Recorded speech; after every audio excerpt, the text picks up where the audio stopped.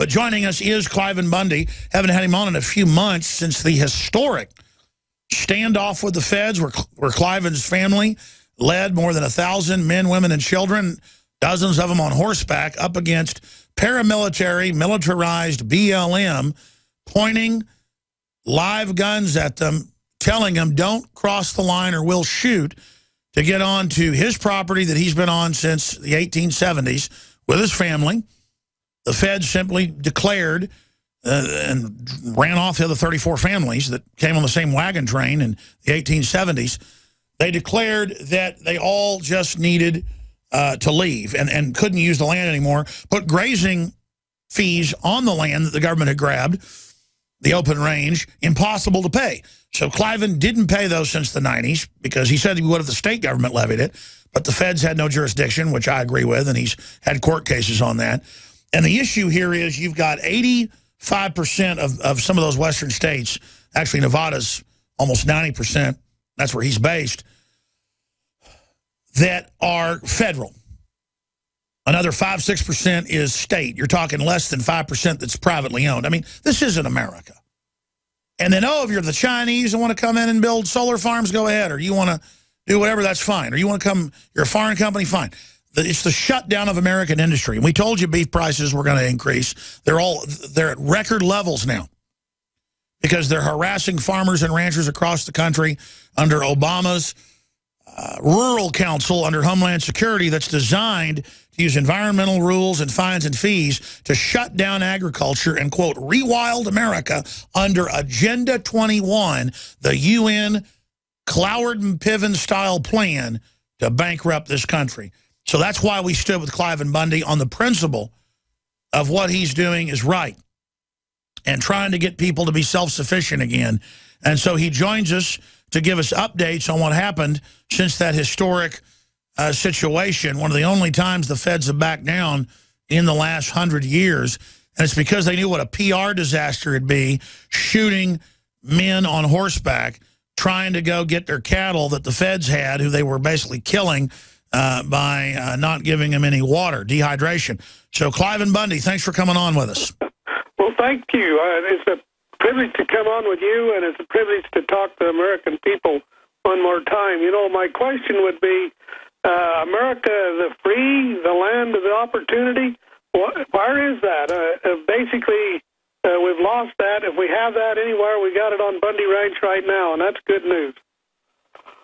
Well, you're right, and, and even Rick Perry's weighed in uh, on the fact that the BLM is claiming tens of thousands of acres that is privately owned on the Oklahoma and Texas side of the Red River.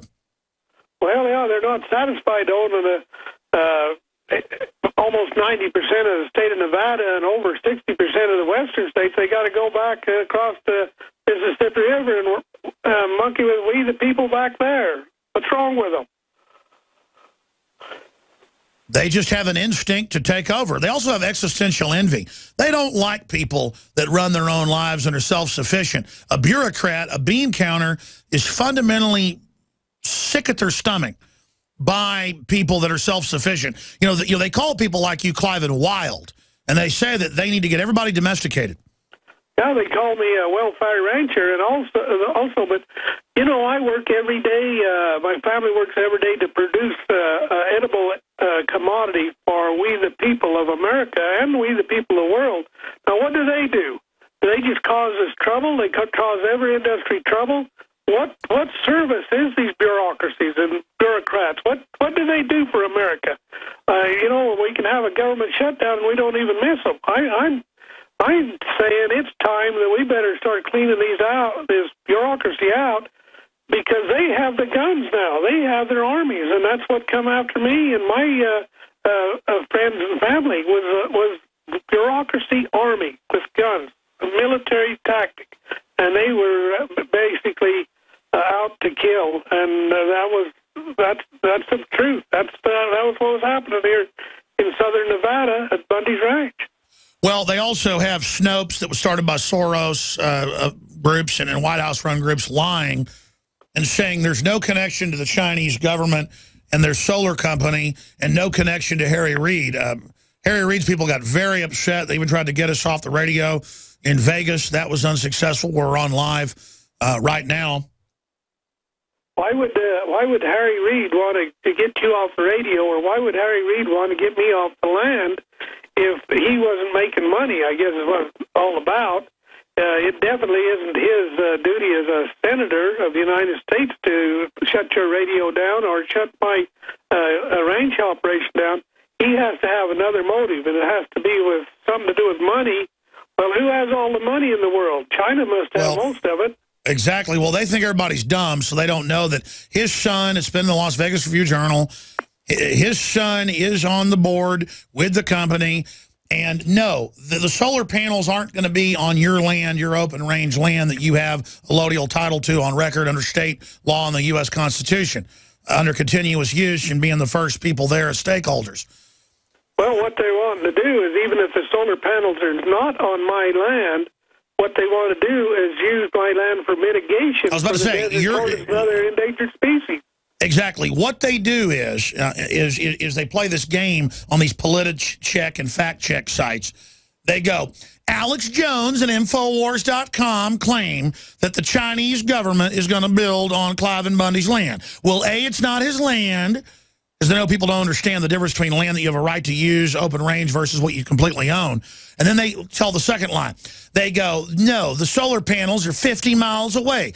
But in the documents on the BLM website, it says your land is set aside as the easement for them to be able to use that. So they play this game. The point is your land's being taken as part of this deal, and it's in the newspaper two years ago before this all started. It's on the BLM website till they took it down, but it's on the Google Wayback Machine.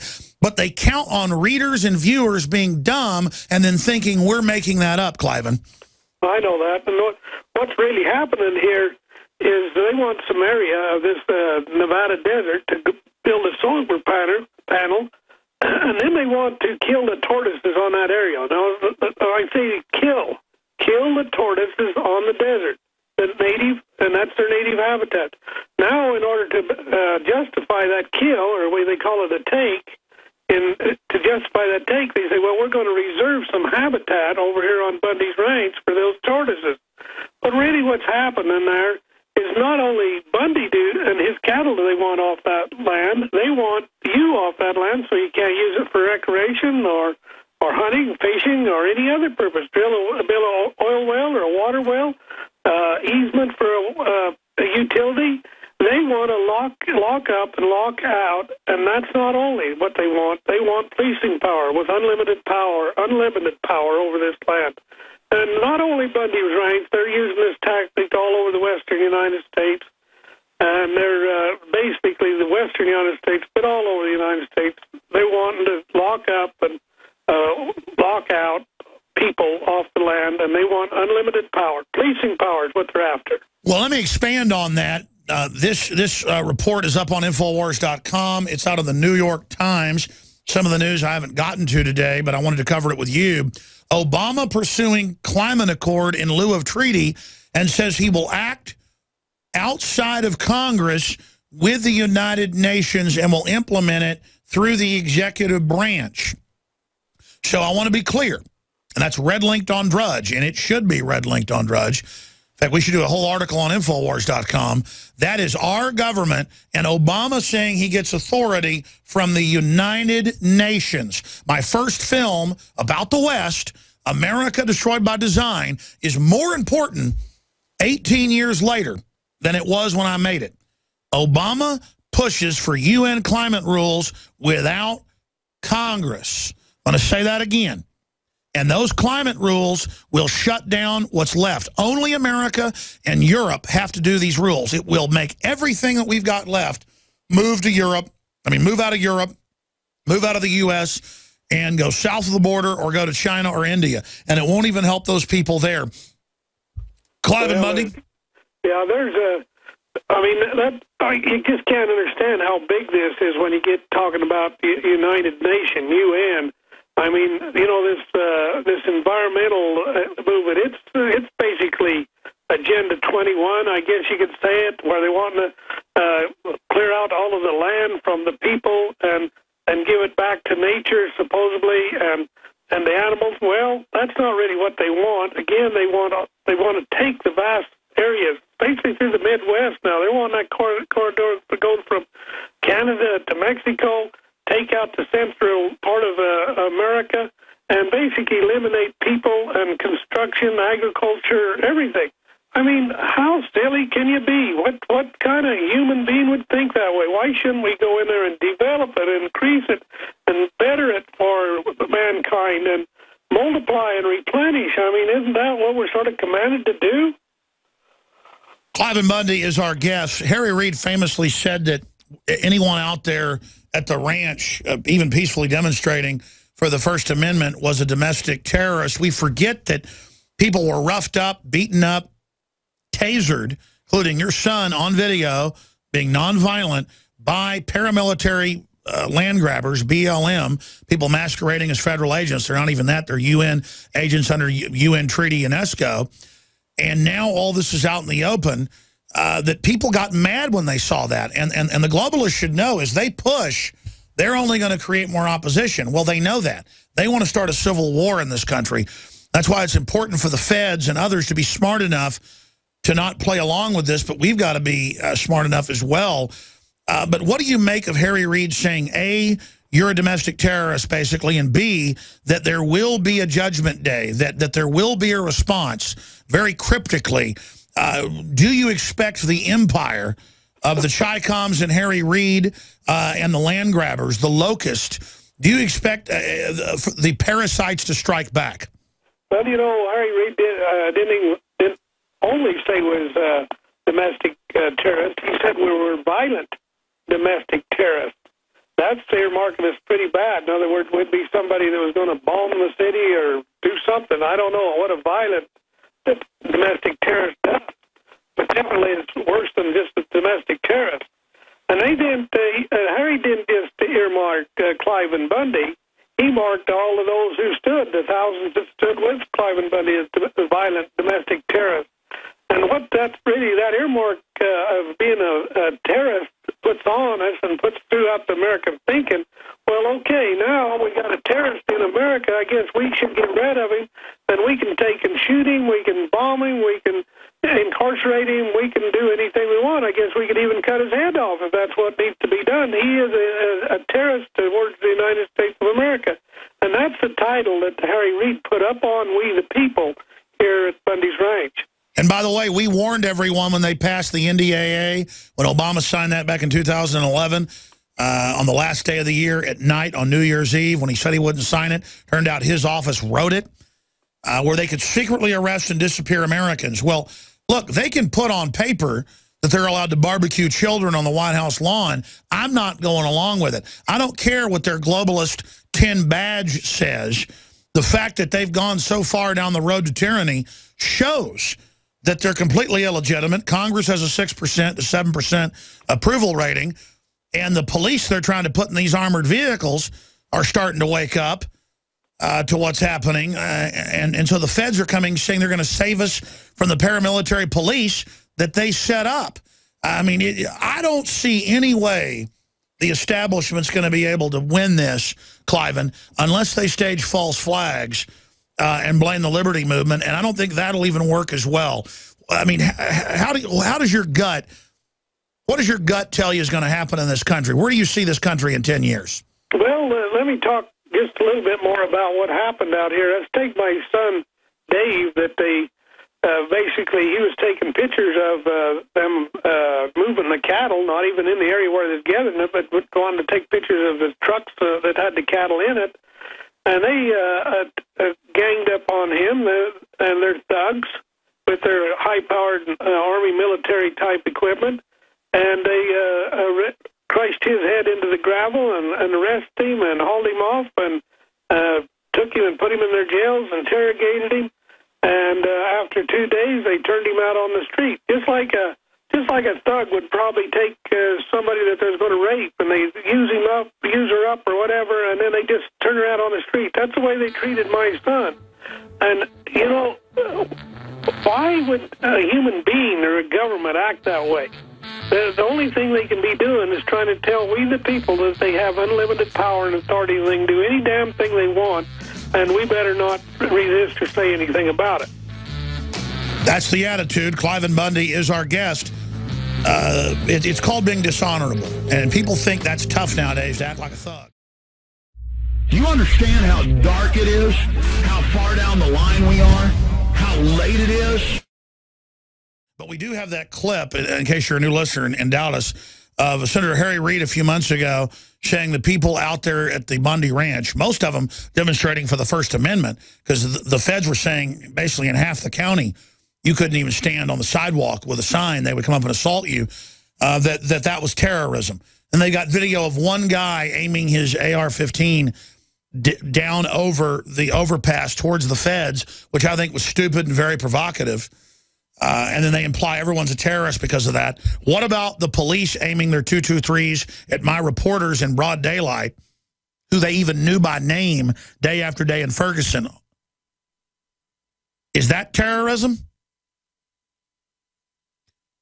Let's go to that clip of Harry Reid. Here it is. So these people who hold themselves out to be patriots are not. They're nothing more than domestic terrorists.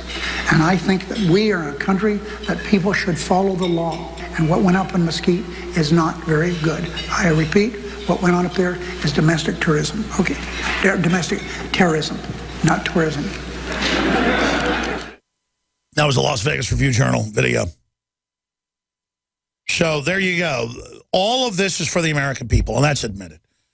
And so they claim that the rendition, the torture, the NDAA, the checkpoints, the NSA was all for al-Qaeda, which is now known as IS, and our government gave weapons to, and is now fighting again. Because it's not our government. It's criminal special interest at every level who are robbing the country seven ways to Sunday. There are secret death panels for veterans where they have operable cancers with 95% success rates, and they just don't give them the surgery and they die. And then the whore media spins that when the alternative media breaks it. It's going on nationwide as mistakes were made. No. The government and criminal interests have gotten away with bloody murder. And somebody finally stood up to them, and the controlled media acted like we were devils for daring to know the law and what had happened out there. Final comments, Cliven Bundy, in the two minutes we've got left, sir. Well, you know, the question is, who is the criminals here? Was it the federal bureaucracy that pointed the guns at we the people, or was it we the people who standing up for our liberty and freedoms and our agency, our constitution, our state sovereignty? Was we wrong, or were they wrong? Where in the in this constitution, where in this government does it allow an army to come against we the people? And where would a, a senator? I say you brought your army here. How would how could justify bringing a, a, a militia, not a militia, a military army against we the people? And you know, I made the statement this will never happen in America again, and yet we see it sort of repeating itself across the country. I don't know when we're going to stop it. We're going to have to stand up for uh, uh, our state sovereignty. Our local sheriff's got to wake up, and uh, and we the people we hey, it's our fault. We have allowed this to happen. We got to stop it now. Well, don't forget Judge Head in Lubbock two years ago said they needed armored vehicles to fight a UN takeover. I'm not even so much against the locals if they're patriots having things to defend the population from drug cartels or whatever. I'm against federal armaments against the people. That's unconstitutional. Here it is out of the Deseret News. Representative Stewart seeking to demilitarize federal regulatory agencies. The congressman from Utah says he wants to demilitarize the feds. That's more like it. And that's what's coming out of this from Chris Stewart, Republican Utah. The InfoWars crew absolutely loves coffee because we love being awake. And I am somewhat of a connoisseur of coffee. So many times you go to a restaurant or even to a coffee shop and the coffee tastes like garbage. And in all the different coffees I've tried, my favorite is grown in the high mountains, in shade, Arabica, on the border with Guatemala in southern Mexico by the Chiapas farmers. I make sure we've done the research. I make sure it's the very best product that we can offer you when I put my name on it. And I believe, and it's my taste, so you may differ, that this is the best coffee in the world from southern Mexico. Wake Up America Patriot Blend, 100% organic, Arabica shade grown. And then we have the Immune Support, 100% organic coffee, infused with a special type of mushroom known to boost the immunity. This coffee is seriously so smooth. I normally have to douse my coffee with cream and sugar and cinnamon and all kinds of tasty treats, but this, I drink this black. It is so good. Well, that's why I like it, is that it has a kick, it has really good caffeine in it, it has a good clean wake up that lasts for a long time, doesn't give me a headache, but it's so smooth, it's so delicious. Just try it out for yourself. I'm telling you, this is my favorite coffee. We went through a lot of trouble to bring you this. Just try it, and I think you'll be hooked like we are here at InfoWars. Well, folks, find out for yourself and support the information war today. It's all available at InfoWarsLife.com or by calling toll free 888 253 3139.